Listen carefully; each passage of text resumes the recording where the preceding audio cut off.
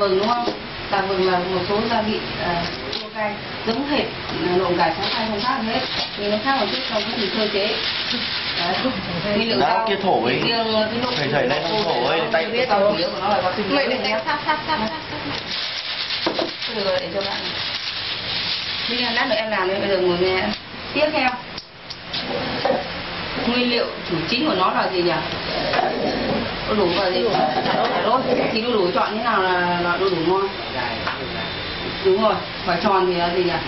Đúng rồi chúng ta chọn quả dài nhá thì nó nhiều thịt đặc đấy.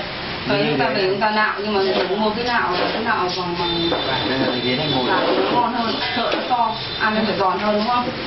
Tiếp theo các bạn thì đu đủ là có nó như nào? Có nhiều nhựa không? Có à à